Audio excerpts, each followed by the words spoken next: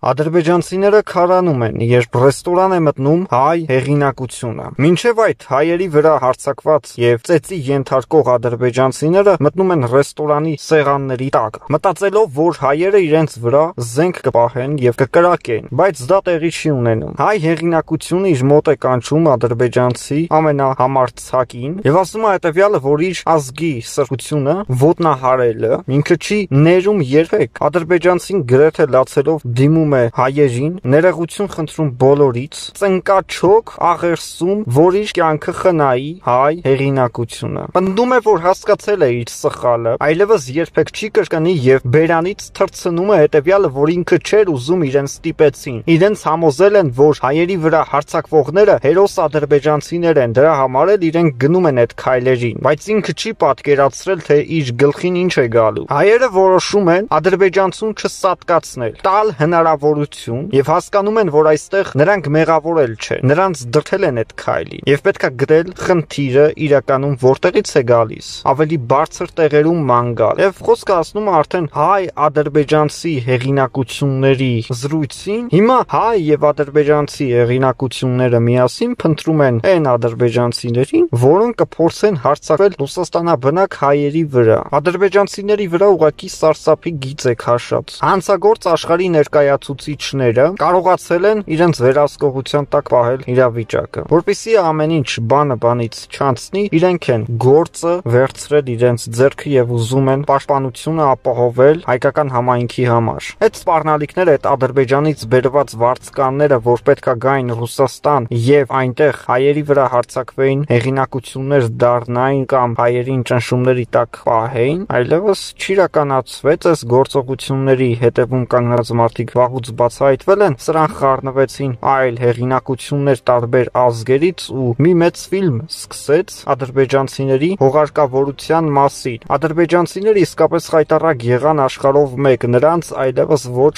ոք լուրջ չի վերաբերվում։ Նրանք այն մարդիկ են, ովքեր 1-2 հայի վրա հարձակվում են 100 ադրբեջանցիներով ու ծեծի ենթարկում դաժանաբար, ինչեւ որ ուշագնաց լինի իրենց զոհը, որովհետեւ վախենում են, որ պահի տակ կարող են այդ զոհի հետ մնալ միայնակ եւ այդ զոհը իրենց գլուխը ջարդի։ Այսպիսի վախկոտ ազգերի հետ խոսելն անհնարին է։ Նրանց պետք է պահել ուղակի վախի մեջ միշտ։ Թե ինչպես ստացվեց, որ ադրբեջանցի այդ massային կարողացան համոզել, որ հայերի վրա հարձակվել է այդքան էլ դժվար բան չէ եւ հակառակը հեշտ է եւ պատվաբեր է նաեւ։ Եվ այս կատերը կերել էին ու գնացել էին, ինչպես ժողովրդավարական ասացվածքն է ասում, սատանի մայլեն, քանդարբազություն էին անում։ Տեսան ինչ եղավ։ Ինչպես Ինչպես գիտենք, ռեստորանային մեծ բիզնեսների ցանց ունեն ադրբեջանցիները Ռուսաստանում, եւ հայերն էլ օգտվելով իրենց ռեստորաններից ինչ որ չափով առնչվում են իրենց հետ եւ գտնվել էին որոշ ադրբեջանցիներ, որ հայերին այդքան էլ լավ չեն վերաբերվել, անգամ ծեծել են։ Հիմա այդ ռեստորանների տերերը գիտեն, որ կզրկվեն իրենց ռեստորաններից, եթե ինչ որ բան այնպես չլինի։ Կրոնական կամ ազգային տարբերություն դնողները պետք է հասկանան, որ սա իրենց երկիրը չէ։ Սա Ռուսաստան Ռուսաստանն է։ Եթե այստեղ լինի կրոնական ու ազգային տարբերություն, ապա այդ տարբերությունը պետքա որոշի միայն Ռուսաստանի Դաշնության քաղաքացի։ Ռուսաստանի իշխանությունը կամ, բայց ոչ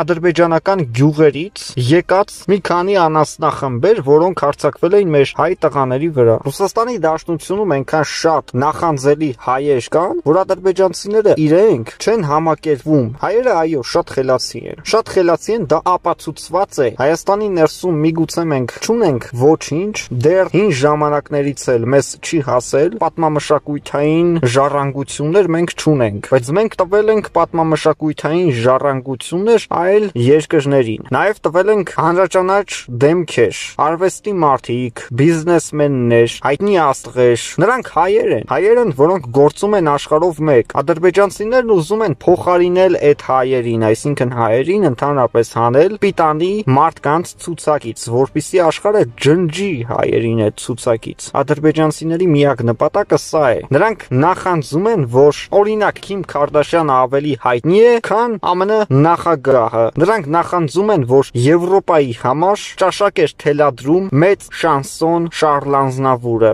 Այո, նախանձելի են մեր հայությունը, բայց ցավոք սրտի մենք Հայաստանի համար ոչինչ չարեցինք։ Հայաստանը ոչ թե քանդեց ժողովուրդը, քանդեց իշխանությունը, Հայաստանը քանդեցին կուսակցությունները։ Հայաստանի մեղավոր հնարավորությունը այնա, որ մենք ունենք շատ կուսակցություններ, որ տեղից վեր կացողը կարող է բացել կուսակցություն ու զբաղվել քաղաքականությամբ։ Պուտինի ինքնաթիռը վաղուց է իջել Հայաստանի Հանրապետությունում։ Որոշումը հրատապ էր, բայց Պուտինը չհապաղեց։ Հայաստանի ներսում կատարվող ամեն ինչ տեղեկացված է Պուտինը։ Ինչու Քոչարյանը գնաց Ռուսաստանի Դաշնություն, ինչ հանդիպումներ ունեցավ, ինչու Քոչարյանը հավաքեց ռուս լրագրողներին, այս ամեն ինչը մեկ բանի համար։ Պուտինի հետ կոնտակտի մեջ մտնել էր պետ Քոչարյանին։ Ինչու։ Քոչարյանը հերախոսազրույցներ Պուտինի հետ ունենում է։ Քոչարյանը գնաց Ռուսաստան տարբեր հանդիպումներ ունեցավ, բայց Մինչև այսօր մենք արձանագրում ենք հետևյալը, որ Քոչարյանը չկարողացավ Պուտինին համոզել, որ ինքը կարող է լինի Հայաստանի ղեկավար։ Պուտինը ասել է հետևյալը. Ես ընդհանրապես Հայաստանի ղեկավար նշանակել չեմ կարող։ Ժողովուրդը ընտրել է Փաշինյանին,